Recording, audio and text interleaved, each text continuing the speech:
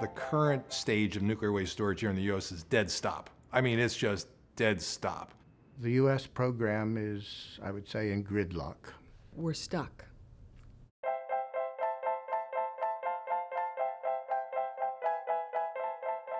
Right now, there are 39 states out of the 50 that have high level nuclear waste or spent nuclear fuel in them.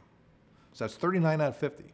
So there's kind of like this critical mass, pardon the pun, of states that ought to be interested in getting it out of there.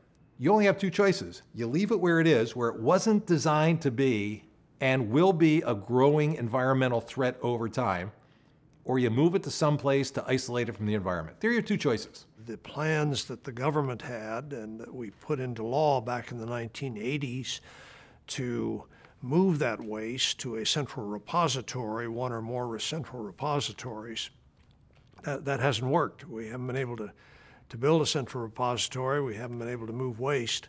Uh, so uh, most, most of it's right there where it was originally produced.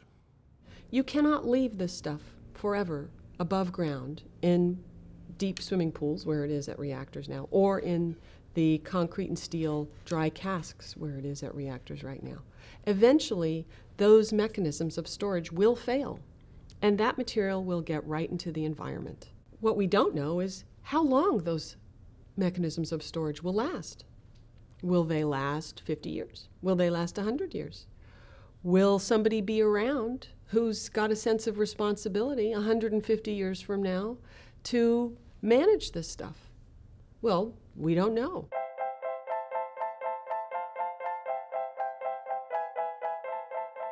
The most radioactive waste, the most dangerous waste, need to be permanently isolated from humankind for years to come. The half life of plutonium 239 is 24,000 years. And if you breathe one microscopic speck of that into your lung, you're guaranteed cancer. Regardless of your views of nuclear issues, pro or con, I think most people would agree that the nuclear materials need to be safely managed for centuries, if not longer. And so that's something that society has to deal with no matter what. Spent nuclear fuel, in the case of Sweden, is a waste that has to be isolated from man and environment for 100,000 years. It does tell you something about what kind of waste we're dealing with. The government is now reimbursing many of these utilities for the cost of storage because the courts have ordered the government to do that since the, the government's uh, promise to to go ahead and build a repository uh, did not uh, happen. So far, the taxpayers have paid over $5 billion to pay for this waste. The projection is at least $22 billion. Don't you think we could be doing something else with that $22 billion? That's a lot of money.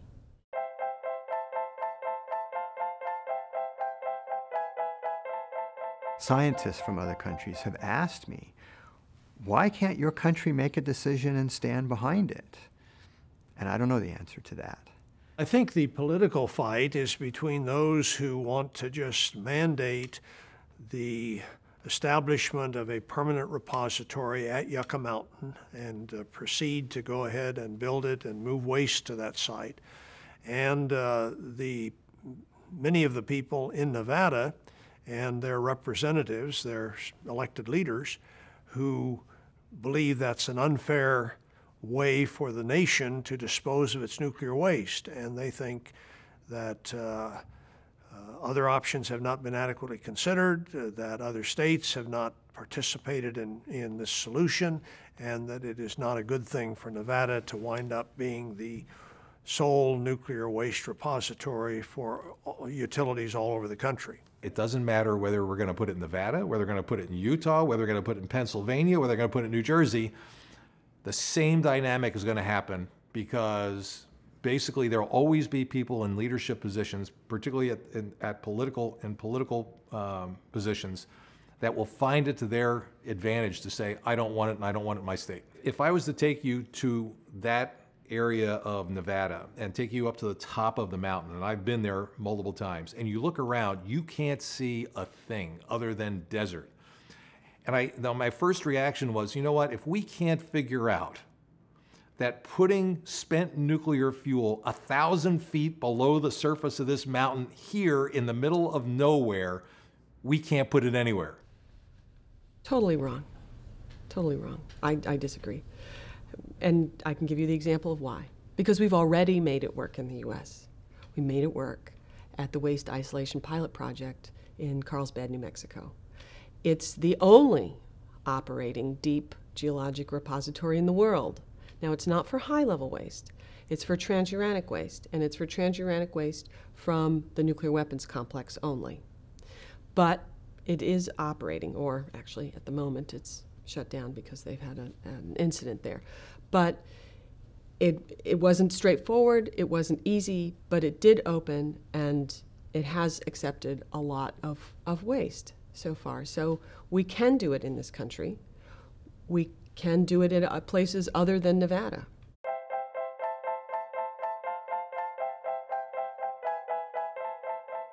Personally, I believe sounds really good in theory, it will not work in practice. It really is a political decision about where in the country we're going to put all of this stuff. And it's 100% certain that wherever we pick, somebody's going to not want it there. That's, that's 100% certain. So, how do you overcome that? 100%, I agree with him. You know, there are uh, projects where uh, the state tries to locate a museum or a library, and even for those projects, you wouldn't imagine anybody opposing, and there are always people opposing to a project. So, for a final repository for spent fuel, a very dangerous waste, of course, you should be expecting some opposition at some level. Consent does not mean 100% of the people. It's not unanimity. That's 100% of the people. Consent is a majority of the people. So, yes, you will never get 100% of the people to agree to probably anything, but you will get a majority.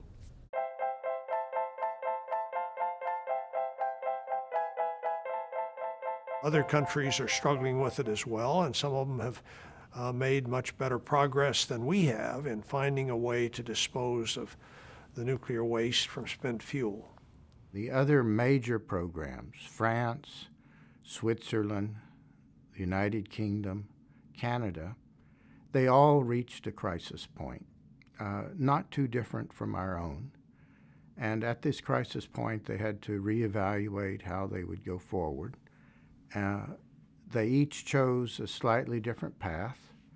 Um, but having thought about it and so having selected a, a new path, uh, one can also observe their programs are moving forward. I think uh, lots of difficulties are not with the technical development. It's more uh, interacting with the public, finding those communities that would like to cooperate with us to solve basically a national challenge on a local scale.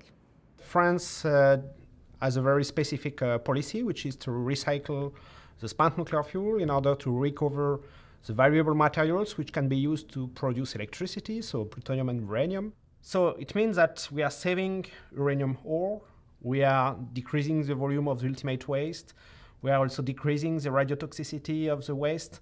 And at the end, what, what, what we have to manage in the long term is only the 4% of fission products.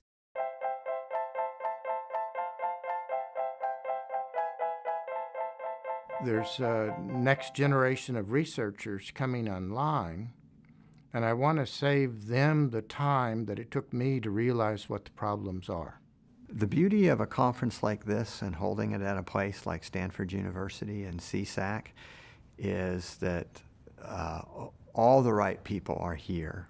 There's nothing better than to bring in expertise when you're starting to look at a very difficult problem that has never really been solved yet in human history.